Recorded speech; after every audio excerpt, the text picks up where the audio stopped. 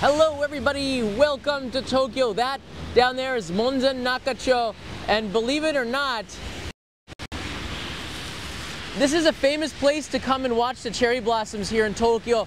You can see the banners are out for the sakura, it says right there. But these are the trees, and there's not a sakura blossom on any of them. So we're gonna go take a look at them, but not to worry, I did get a bag from Mr. Donuts of Sakura Mochi Donuts, which is uh, their special for the moment. How you doing, everybody? It is freezing. I think maybe because I'm just kind of wet. I've been rained on. I do have an umbrella, but it's so much easier uh, to keep it off while I'm doing a live stream. Um, look, I, I don't know what to tell you. That This has been a very odd year. The winter was a little bit colder. Although they say it was the warmest winter in a long time, the last few weeks, in particular the last month, have been really cold, including snow in a lot of areas of Tokyo. Uh, sorry, a lot of areas of Japan. Tokyo has been just chilled. Apparently the blossoms are out in Kochi down in Shikoku, but you can see in the Somei Yoshino, not, not a peep. Look at that. That's an update live from Tokyo's Monzen Nakacho, the central area, just about, uh, uh, I don't know, it's about eight minutes by taxi to get to Tokyo Station, so that's how close we are on one of the canals that are connecting up with the Sumida River. You can see the lanterns, the chochin are out, they light it up at night. It's a beautiful little area to come and visit for the cherry blossoms, but not, not a one. It's weird, it's weird. So I brought my own bag of donuts here. So actually, why don't we, why don't we talk about this a little bit right now? This time of year is very interesting because we do get a bunch of um, uh, Sakura Cherry Blossom Confections. This one is, there's something going on down there. This one is Sakura Mochi. Sakura Mochi, you can see my, my fingers are still somewhat dyed from the indigo um, uh, dyeing uh, Aizome a couple of days ago. Uh, this has kinako, roasted soybean powder, and I'm guessing that floral sweet taste of uh, Sakura uh, combined with uh, mochi. Itadakimasu. Oh yeah.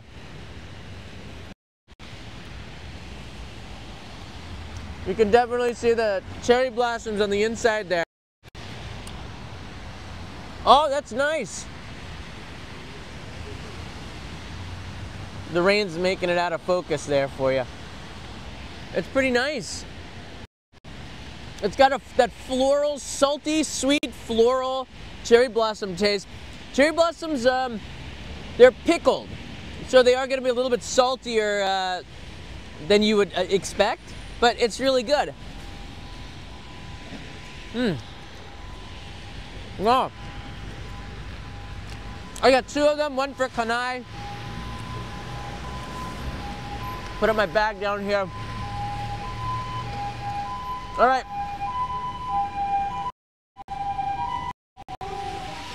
We're the only ones here, so let's go check it out.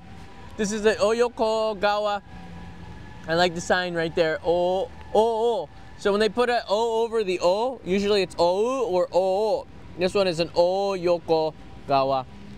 And they do have canal trips that go, uh, uh, dude, this is such a beautiful area. You can see there's a, they have posters for it. The Fukagawa, which is a deep river, the main river here. This used to be the uh, way you got around during the Edo period uh, 150, 200 years ago. And they, have these uh, to tours. I'll put the poster here so you can get a look at it. It started. It started. Um, it started like a couple of weeks, no, about ten, about ten days ago. But you could see. I don't know. I guess we all thought that the blossoms were going to be coming early, but that's why they do like 9, 10, 11, 12 different forecasts for the cherry blossoms. So everybody who's coming and made their arrangements, their hotels, trying to predict Mother Nature, you're going to be somewhat disappointed at the moment. But you'll eventually catch them. They catch up. They move quick when they want to. But it is nature. And nature moves at its own pace. But you know what? There is the promising thing is that we finally have buds here. Do you see that? The green buds are on there. That means it's about four days away. Four days away! That stinks. like I'm into it right now. That means we're going to get into April. So they're probably going to be in Tokyo until about April 10th, the Somei Yoshino, which is good news for those that weren't planning on, uh, were, were planning on coming later on. But for those that are coming, uh, you know, in the beginning, the middle of March till the beginning of April, maybe not so good news for you. Christian is here. Thank you. Plums are pickled to preserve them. Yeah, that the um, there's a, a, pleasant saltiness to it. Sometimes it's still too salty. Depends on who's pickling them. But it's the uh, not the Somei Yoshino version that's uh, pickled and put in the confection. It's the pink Kawazu uh, version of it. So they're quite popular down in Odawara. The pickling goes down in Kanagawa, a lot of it, for the confections. You can see there's some buds. A little bit of green on there. That's a good sign. It's a very good sign. The rain behind it is not such a great sign. And you can see uh, this one, not much, not nothing on there. Sorry. And they, they, here's the boat where you can catch it from down here, not a soul. And you can wait underneath the canopy here, not a soul. it's pretty. It's pretty. It's pretty awful outside here. This is not going to be a live, a long live stream. I think for this update, the the proof is in the images. There's really not a lot here. Um, there's a lot going on in Japan, and it gives me a chance to talk about that. There were more uh, go kart. There's Tokyo Mario Kart accidents happening. More uh, tourists are starting to deciding to get out of in the middle of traffic. They get up out of the go-kart to take pictures and they leaving it in the middle of traffic. Not only is that dangerous, that's just that's illegal and these go-kart companies are going to be in a bind. I don't think they're going to go out of business. They're not going to go out of business, but that is not a good that's not a good look. So if you're to ride those go-karts, which we hate here, it's annoying, it's loud, you don't follow the rules, and there's accidents. Somebody in 2018 crashed into the side of a, of a store. You know, it's to be something that's to be in the news. I might cover this again. Uh, what else is in the news here? Uh, Nissin Cup of Noodles released a mystery meat box of goodies, which will be at the supermarket. I'll see if I can find some of those. A lot of people are fans of the uh, cup noodles. They produce some pretty interesting stuff. They most certainly do. I like this area, Monzen Nakacho. I was told that there is a, um, a local pizza,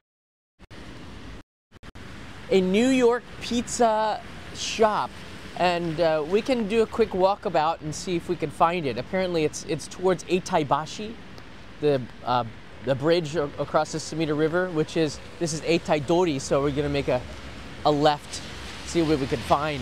There's also a really good bakery that uses um, truffles or something. Usually it's got a, a, long line and they're closed on Wednesdays, I believe. So, wow, this is an awful day. By the way, I, I was interviewed uh, uh, by a couple of people for the latest episode. So there's a uh, there's a John Manjiro it has a lot of fans in the world. This episode, I don't know if you've seen it yet. It's on YouTube on my main channel. If you haven't, you know, leave me a comment and uh, let me know what you thought. Manjiro is uh, one of the one of the uh, historical figures that has really done a huge, played a huge part in modernizing Japan. And this episode on the main channel, it's not doing too well because it's a historical backed one. I think it's more of that than anything else. But I know that if you watch it, you're going to like it, especially if you're watching Shogun, the drama, um, right now, which is quite popular. That is, this is the bookend to it. Shogun shows the start of the shogunate, the, um, the end of the warring Sengoku period with Tokugawa Ieyasu is apparently in there. Tokunaga, I believe, might be Tokugawa. I don't know. Depends on the book. I think I think that's the case. But uh, the Tokugawa shogunate is, is finished when Manjiro comes back, starting to finish because uh, they're opening up. They have to end their uh, the sakoku, the uh, period of isolation that they had going on for 220 years. And Manjiro, who was shipwrecked, picked up by an American whaler, schooled in the United States in Fairhaven, came back to Japan and offered that knowledge to the shogunate, which was very valuable because they had nobody because they were closed off to the world who really understood or knew much about America except for dun, dun, dun, the story. So definitely watch it. I put a year into it. Um, I was so obsessed with the editing that I didn't actually release a video in January February, which was dumb. But I wanted to put everything into it. Sometimes you have to really focus in on, on your work on one work because that is what you're defined by. Not a bunch of small rinky-dink videos about Japanese cuisine, which you probably would love. This was more defined by, you know, something that is, I don't think anybody else could ever do something like this um, in the way that I did it. Because it's it doesn't make sense financially, time-wise, it's just you have to be obsessed. All right, I think that's it over there.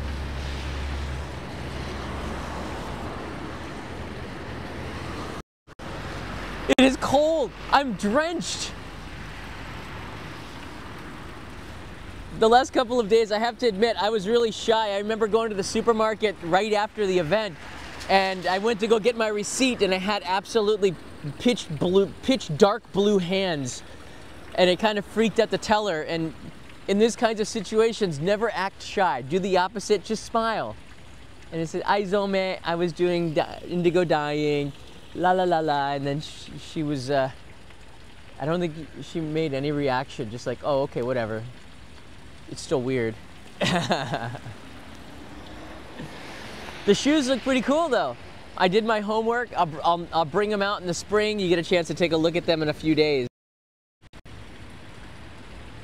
Yeah, Angelica writes in here, it matches your jacket. That was my saving, that was the saving aspect of the whole thing. Had I worn a jacket that clashed, my hands would have clashed and would become even more noticeable. It, would, it looked like an extension of the jacket. So when I was walking down Ginza, people did notice it, but they weren't, I think they weren't staring as hard as if I hadn't uh, had such a, a, a massively clash. Is, is this it here? Is this it? I'm trying to figure out. I haven't been here. So the guy who who I there's a food truck. I, I make friends usually with everybody um, when I do when I go to a restaurant or eat food. One of the food truck guys who is I'm a regular now at his food truck. He told me about this pizza place run by an American or or something like that, and he said go go take a look at it. It's at Monzen Nakacho towards Eitaibashi and uh, I'm gonna just take a look. And if, if it's cool, I might come back and do another episode because everybody, it's New York style pizza, and everybody knows, everybody in New York knows that New York style is the best. New York.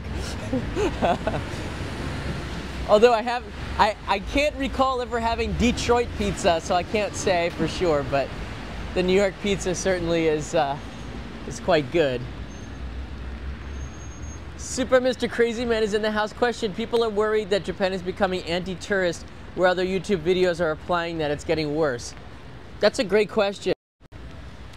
That might be a great episode idea for tomorrow, actually. Um, I did an episode talking about how Kyoto uh, shut down some of the alleys. It's not a big deal. It's just localities where it is way, it's, it's not anti-tourist. It's more like tourists, tourists have international travel has become so cheap and so popular. Maybe the world population's growing. There's so many of them. People have zero.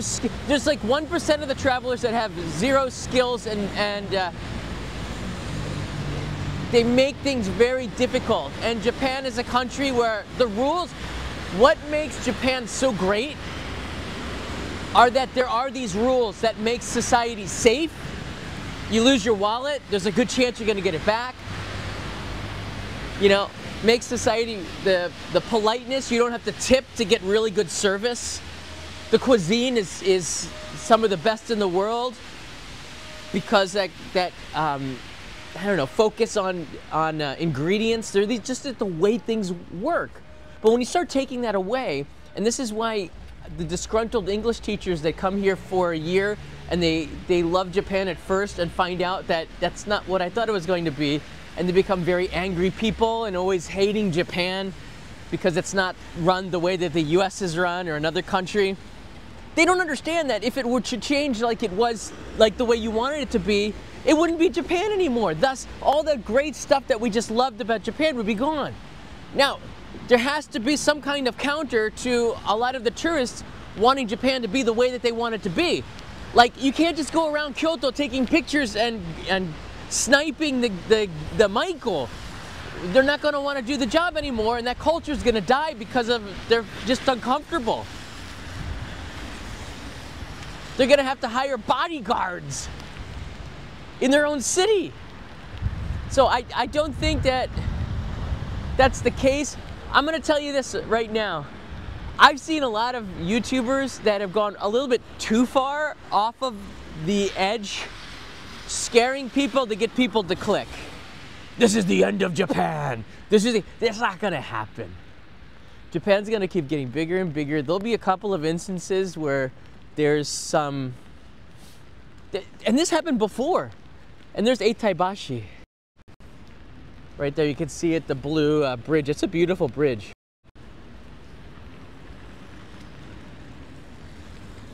Yeah, it's more or less clickbait. Where they scare you or worry you into just Japan has fallen off the cliff or Japan doesn't want tourists. That's not the case at all. There's some areas and there's some there's some uh, places, private businesses, those are private roads in Kyoto and they have every right to do what they did, which is to fine you. They didn't, they fine you. First of all, you, you, I don't think you can go through there anymore. I'm not sure. I think you can still go there. I think it's more about taking pictures of the geisha, the maiko, and making them feel uncomfortable. You can go to a show, and the shows allow you to. I'm like looking for this place at the time. The shows allow you to uh, take pictures with them, I believe, at the end. Same as when you go to a maid cafe. Nobody wants to get their picture taken by some stranger because you want to take the picture. So, like two cents here.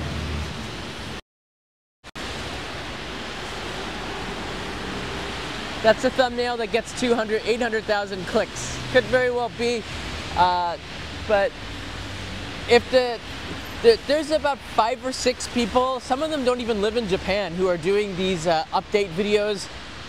And I don't know, they're a little bit, a little bit clickbaity. Like everybody's got a, a right to make a living off of this. And if you've got an audience and you're connecting with people and they're watching this stuff, then all the power to you. I mean, just you know, to the best of your ability, you better be telling the best information, the honest information, and not scaring people into um, thinking wrong about Japan. And unless somebody has been living here for, look, I don't think you really even start to understand Japan until you've been here for about 10 years, all right? Because I was confused for the first 15 maybe.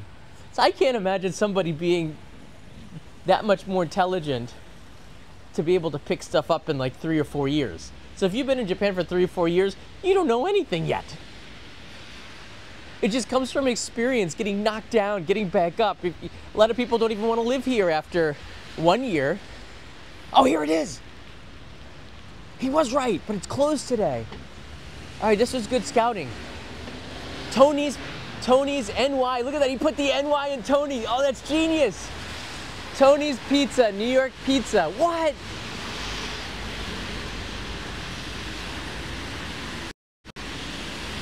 That's so cool. All right, we're gonna be back here. All right, we're gonna come back here. I think it's a it's a local business. Here are the hours. Saturday, Sunday, 12 to 6, or sold out. So they close at 6 p.m. Wow. So it's like a, I guess it's like a lunch place. It feels like YouTubers are just joining the trend. Yeah. One of the reasons, uh, look, I'm at a crossroads as well because there are so many YouTubers that are doing content here in Japan. And I think, was that Michael Sasano that, that chimed in earlier? It's nice to see you here, Michael. Sorry I didn't get to get to it in time. Yeah, Aloha John would love to have the sample some of that donut. Just, well, gosh, I'm sending I'm sending Brandy her box today. Maybe I should put something in there for you. Um, like I'm, I'm sort of, I feel like I'm at something somewhat of a crossroad because there are so many YouTubers, so many Japan-based YouTubers, and they just keep increasing and increasing, and they're not adding anything new. Of course, everybody has a right to make a living off of this platform, but you're not adding anything new. You're doing the same stuff that everybody else is doing. If you don't live here in Japan, then maybe it's okay because you have your own version, you're from outside of Japan. But if you're living here in Japan and you're covering the same tired stuff that has been covered a thousand times, not only won't your channel grow because somebody already did it and did it better than you. Your channel won't grow. You're not going to connect with an audience because why would anybody watch your content if somebody else who already has an audience did the exact same thing? Why would they watch your video? So if you want to ever break out as a content creator and, and build an audience, you have to pick topics that nobody has ever seen before or from an angle that no one has ever covered something before. And it's not just because it's your angle, it has to be something that's somewhat innovative, something that makes people go, wow. And look, the travel update stuff that I did during the pandemic was all great and good, but once Japan opened the borders, I don't think you all need to have travel updates every week about traveling to Japan because it's not going to change that much. So I stopped doing them. So, you know, to his and her all their own. But right now I have to pick stories that are going to be different than what everybody else is doing. So I'm not I didn't do a lot of food last year. I, I'm, I did more about stories and they weren't as popular because I think the audience and YouTube in general loves to have a bunch of food and and uh, you know I, I call it low-hanging fruit. They're easy topics that would get a lot of views. John Manjiro is not going to get a lot of views. It's not low-hanging fruit. This is the fruit of the top of the tree. And when you discover it, it's something that can be like life-changing because learning about his story, somebody who's kind of lost in their life and then reading about John Manjiro, it certainly has a deep impact on on the person. And I, I didn't even know this story for the first 23 years of living in Japan, and I don't even know why. And then when I did learn about the story, I was just so I just amazed by it. I wanted to cover it. And I, I said, look, in order to do it, you have to do it right. It's going to take a long time to make this, but, you know, I've got a really good group of people on Patreon. Look at that old shop right there.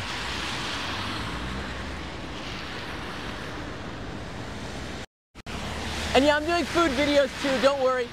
the next episode is done actually editing. I'll put it up before the, the weekend and you'll get a chance to see another food episode. It's a Shinjuku night foodie episode going into the restaurants in Shinjuku at night. So don't worry, there's still food coming. It's something that's somewhat unique, but for the most part though, you want to do stuff that's different than what other YouTube creators are doing and everybody, it just seems like it's the same old stuff. And then there's some really great creators that are doing stuff that is completely different. My friend Greg uh, Lam is always finding a different angle than, he might cover the same topics, but he has a new angle on, on stuff. It's just different, right?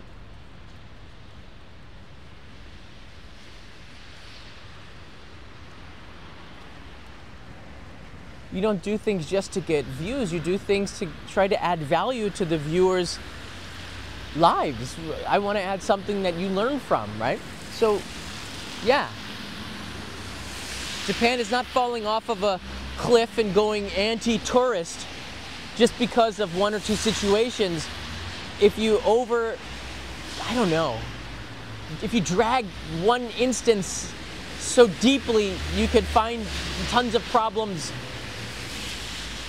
I, I, suppose, but it's not the case. They're just random isolated incidences and it's all going to uh, be okay. Japan is still one of the most welcoming countries in the world. Some of the best hospitality. There's 125 million people in Japan. It's a pretty big country. I think there's 40 million in Canada. Canada's a big country with space, and actually Canada's a very friendly country too. Okay? But Japan's 125 million people in the space of, of uh, the size of California, and you would think there'd be a lot more stress and people would be stressed out all the time because of how crowded it is, but it's, it's okay. You get really good service, you get great food, and I think that that hospitality is the reason why people come back. There's a lot of repeaters. Hey, there's a fire department. Keep up the good work, guys. And gals too. We got some some uh, really strong uh, uh, ladies in the fire department. Got a chance to talk with a couple of them the other day. Leo loves fire trucks, so.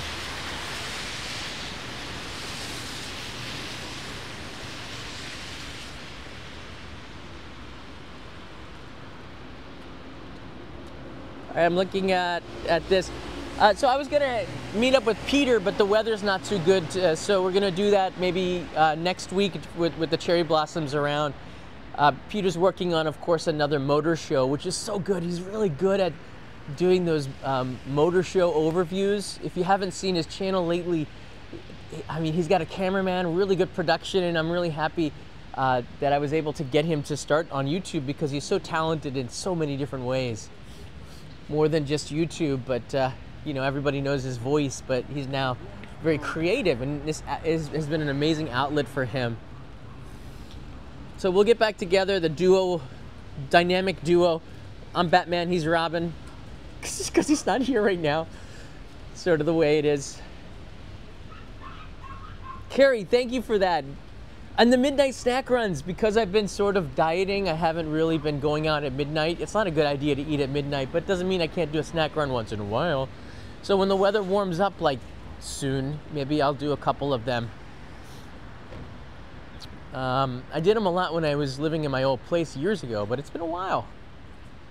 I always mean to do them, but it, it's just not a healthy thing. I, I don't want to eat after 7:30 p.m. anymore. So the older you get, the more your, your diet should change. Doesn't always, but it, mine did before I turned that magical number, and now I'm more used to uh, intermittent fasting where I don't eat between like like one and seven, something like that.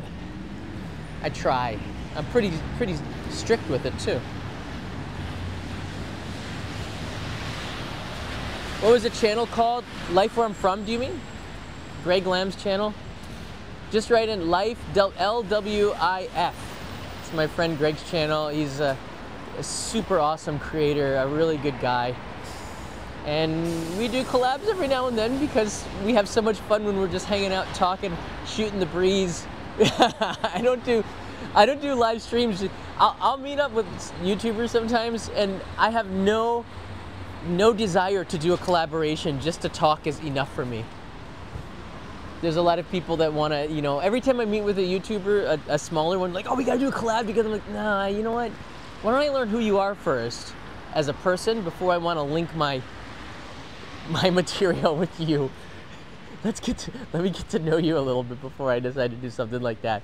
Maybe we have nothing in common and this would be a complete disaster. But there's some people that are, are just really good friends and you like to hang out and you have stuff that's in, in common to talk about.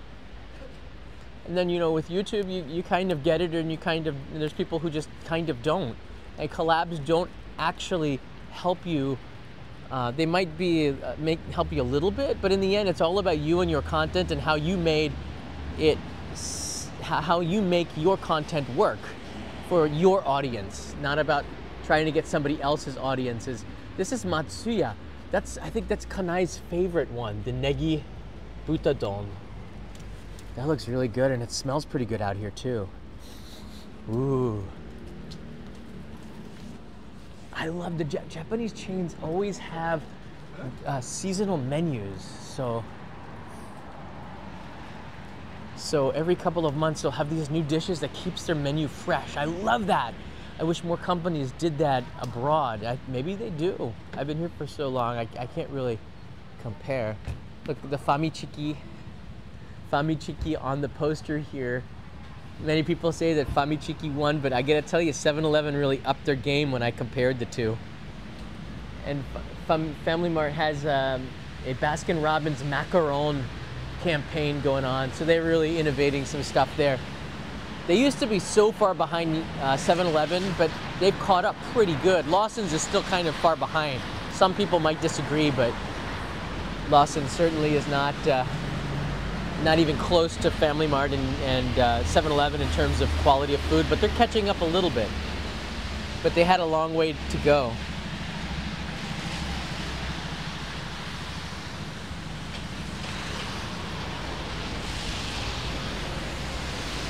Uh, here's the Mr. Donuts that I got my uh, donuts from. So I, I, I, can end here right here by showing you a little bit about Monzen Nakacho. This is a great place for budget hotels. It's, it's a little bit cheaper than the center, but you're so close to Tokyo Station. You're really close to the center. The station's on the Oedo line, and it's also on the Tozai line, which cuts across, going towards Takadanobaba and Ikebukuro Shinjuku in this direction. So it's pretty convenient, and the Oedo line goes around the entire city. It's a good place to stay. Lots of night night um, nightlife. There's some alleys here, Showa era. It feels like you're going back in time. The uh, Fukagawa Fukagawa Fudodo Temple is so scenic. It's really nice, and there's the uh, um, Hachimangu Shrine uh, as well. So this has a kind of that traditional Kyoto feel to it, as well as the Showa era drinking establishments, which is kind of fun.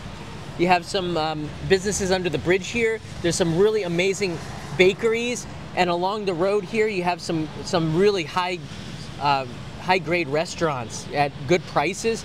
Here's a hotel Links. There's one hotel here. And then of course you have the Sakura cherry blossoms at the parks here. You could follow along the river where we went for the update and yeah, not so much there.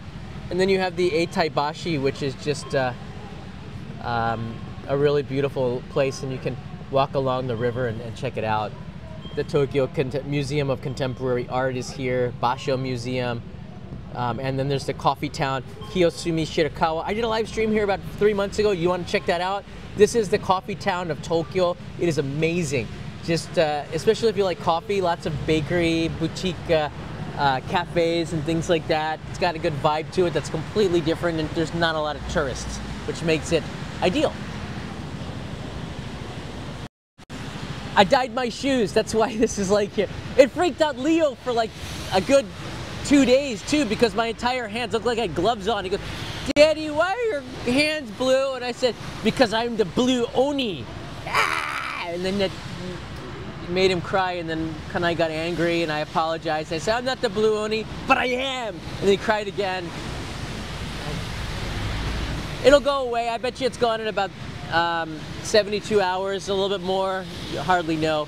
But doesn't it look like I painted my nails? It's kind of cool. I'm the blue Oni. It's kind of really freaked him out. He's still, he's still just three, you know. I mean, just three. All right, that's all I got from Monzen Nakacho. I hope that you uh, uh, enjoy this live stream in the rain, little chance to hang out. I'll try to be back tomorrow. Um, the cherry blossoms are going to take a couple of days, so I have to find something else to talk about, and maybe this anti-tourist Japan talk maybe a little bit deeper, and I'll pull up some news articles uh, as we go into it because I think